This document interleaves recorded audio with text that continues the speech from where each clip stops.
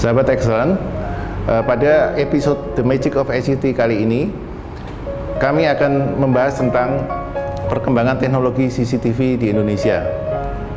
Pada hari ini, kami sangat beruntung sekali karena berhasil menghadirkan seorang tokoh di bidang CCTV, yaitu Bapak Hudiana dari PT Tri Utama. Uh, silahkan nikmati uh, perbincangan kami supaya bisa memberikan ide dan motivasi bagi sahabat excellent semua. Apa kabar Pak Hudiana? Baik, terima kasih. Ya, CCTV sebenarnya sangat menarik. Uh, meskipun dulu kelihatannya biasa-biasa saja, tapi sekarang setelah CCTV teknologinya bisa diakses lewat web, di mana direktur-direktur yang sering pergi ke luar negeri bisa memantau perusahaannya meskipun dia sedang tidak di tempat, ataupun ibu-ibu yang bisa memantau anaknya meskipun dia ada di kantor. Bagaimana Pak? Bisa tolong diceritakan perkembangan-perkembangan terbaru dari dunia CCTV? Ya, memang eh, CCTV sendiri waktu pertama-pertamanya sangat berbeda dengan dunia di IT di komputer karena semua full bersifat analog. Namun saat ini sebenarnya CCTV sendiri merupakan bagian dari IT karena semua juga bisa diakses dari web maupun mempergunakan komputer untuk penyimpanan data. Jadi memang perkembangannya sangat cepat sama dengan perkembangan komputer. Kalau teknologi di bidang CCTV yang terbaru yang Bapak dapat bagikan kepada sahabat excellent? Ya, memang sekarang banyak orang ingin mempergunakan TV yang memakai internet dengan fasilitas IP kamera. Sebenarnya IP kamera sendiri itu berasal dari kamera analog Cuman di dalam satu kamera itu terdapat BIOS maupun komponen dari komputer itu sendiri. Kalau dulu mungkin terbagi dari dua komponen, dengan zamannya semua menjadi kecil dan mikro, akhirnya semua komponen bisa dijadikan satu dengan komponen dari analog kamera sendiri yang itu disebut dengan IP kamera. Jadi kalau kamera sendiri sebenarnya tetap analog. Ya.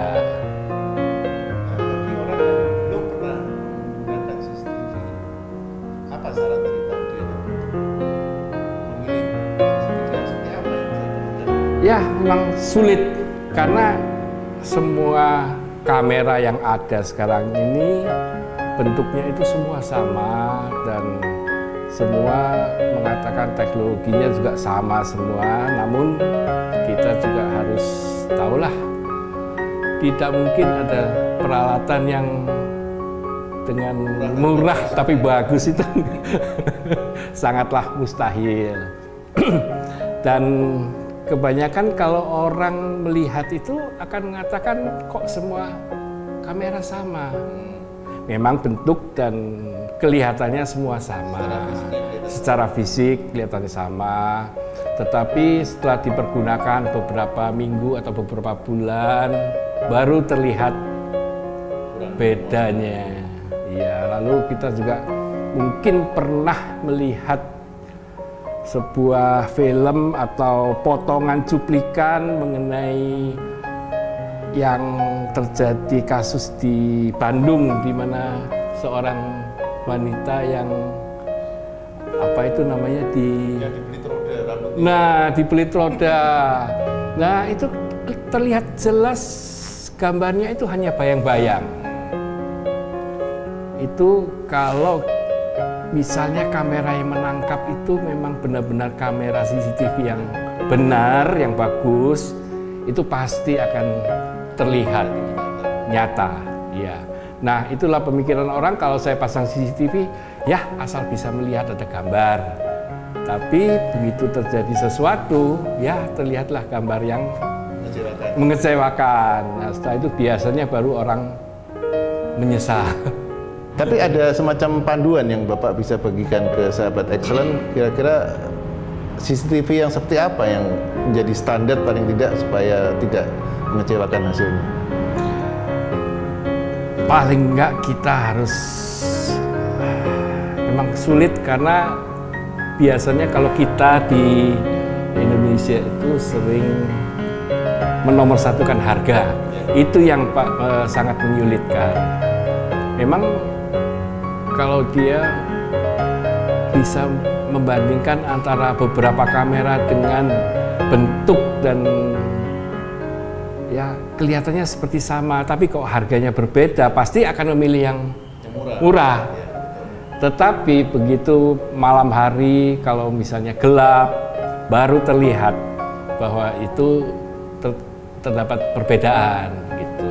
Jadi memang tidak mungkin kamera dengan harga murah itu bisa menyamai dengan branded dengan kamera yang memang benar-benar berkualitas. ya. ya. Tapi kalau seperti kita bicara tentang kamera foto, itu kan ada pitch atau berapa. Nah itu apakah ada spesifikasi tertentu yang perlu diutarakan untuk pada saat kita ingin membeli itu saya perlu yang spesifikasi seperti apa? Gitu. Oke, kalau kita melihat kamera CCTV tidak akan pernah setajam kamera foto atau kamera apa itu yang untuk film yang biasa kita pergunakan atau ya atau kamera studio karena apa kalau kita melihat film di TV itu memang pencahayaannya kameranya sendiri itu memang khusus untuk syuting film. Jadi tidak heran kalau gambarnya itu bagus. Kedua, itu ada istilah yang namanya deep of field. Deep of field itu adalah uh, apa ya?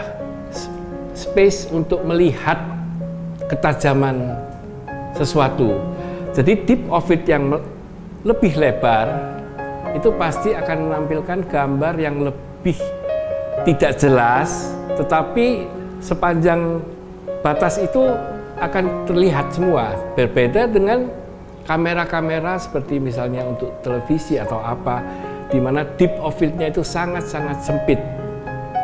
Jadi sebenarnya kamera sendiri tidak berbeda jauh dengan mata manusia. Kalau kita misalnya sangat uh, intensif melihat satu objek, pasti objek kira-kira 10-15 cm di belakangnya akan buram. Tapi kalau kita hanya melihat sekilas, itu pasti akan semuanya jelas, tetapi tidak setajam kalau kita intensif melihat ke objek itu sendiri. Ya, baik sahabat excellent, pembicaraan kita makin menarik, tetapi kita perlu break sejenak untuk break komersial.